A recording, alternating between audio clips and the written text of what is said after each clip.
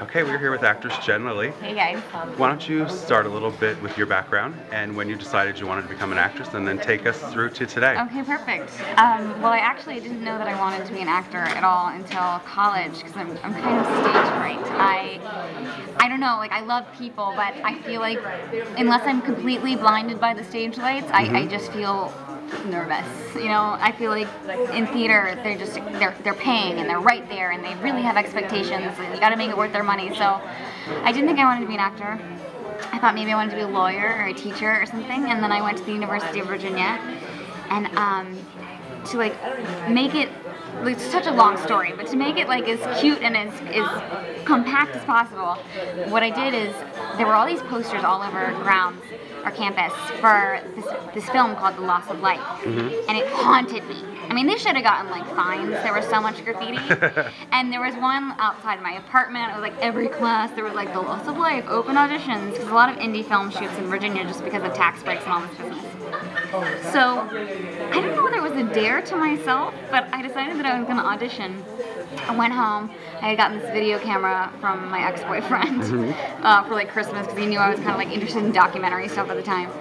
Used the video camera, recorded my like audition, and then I'd watch it back to see like what I was doing because I had not, no idea what acting was really. And then I, uh, you know, deleted it so there was no dirty footage of me like filming myself auditioning and practicing in my room. Went in, booked the audition, and apparently I booked it on the spot, but they didn't tell me until like an hour later. They closed the auditions down after that, and I got like the lead role, Sheila. It's my first role, Loss of Life. The footage has since been destroyed, and it was actually a really good film. And um, I don't know, it was like this girl, and, and I had to get raped and all this stuff in it, so it was really like super, you're in acting now. Right. And I kind of got the bug because I, I love film crews oh, and I just love people that work on film. They're all really down to earth, mm-hmm. and I was like, this is so contagious and so fun, and and maybe I want to do this. You know, my parents were like, well, listen, if you get a degree, you do well in school, then we'll support it. We'll see. So they're really supportive. Graduated early because UVA is very rigorous and there's not a lot of time to play so I was like just get me out of here get me to LA sooner uh, waited tables for six months in Virginia where I'm from Roanoke.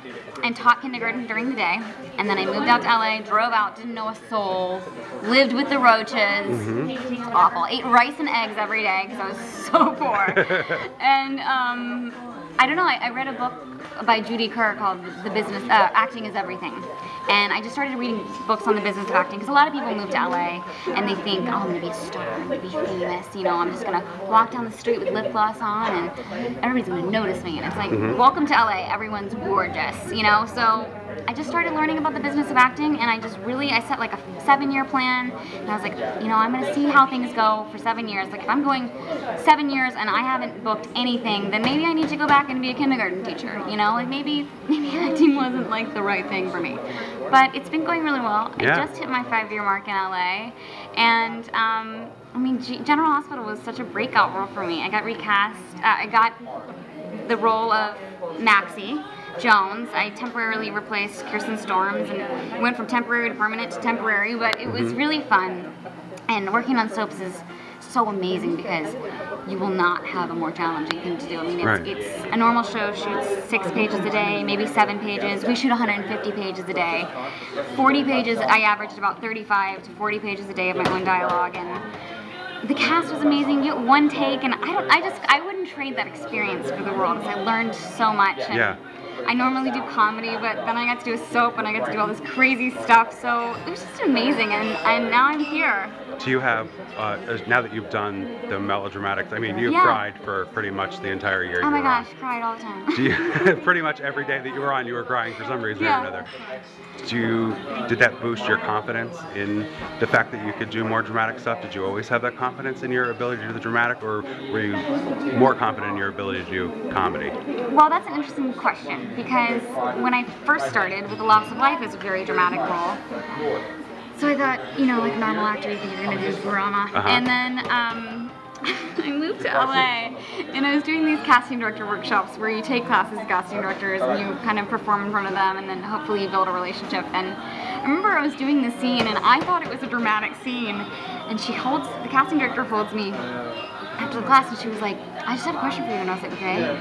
She's like, you were so funny. And I was like, what? Because I thought I was doing a dramatic scene. And she was like, oh, the whole time I kept looking at your resume and not understanding why you didn't have like your own, you know, comedy pilot. And I was like, really? So she was like, you're really funny. And I was like, I didn't know that because my family's so funny. I'm one of four. And we're all pretty smart, but like I am just not nearly as quick as the rest of my family. I mean, I always say like sitting around the dinner table with the Lilley family was always so funny because they'd be like, stop, stop, stop, stop. And five minutes later, I'm like, that one, got it. And they're like, Jen, that was five jokes ago. And I was like, and just pass the mashed potatoes, like whatever. It was mourn in my food. So I didn't know it was funny because my family is so funny. And so then I really started pursuing comedy and I got really comfortable in that. And I, then I was uncomfortable in drama. I was like, maybe since I was doing a dramatic scene and she said it was funny, like maybe I'm really bad at drama. So I booked a soap and my manager and I had a good laugh and it was just crazy. So I do feel more confident in drama now. I mean, I really do think that if you can do soaps, you can do anything. Right. So And now, what advice would you give to somebody who's just starting out in the business? You've been Yeah. pretty busy the five years that you've been working, so you Yeah. kind of were one of those people that they could say broke in overnight, quote unquote, kind Yeah, of. yeah. You know, but what what advice would you give to somebody who maybe is struggling now, or Yeah.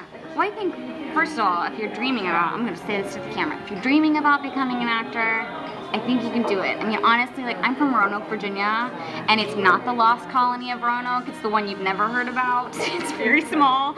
And I just think you can do anything if you put your mind to it and you're smart and you're practical about it and you kind of set some goals.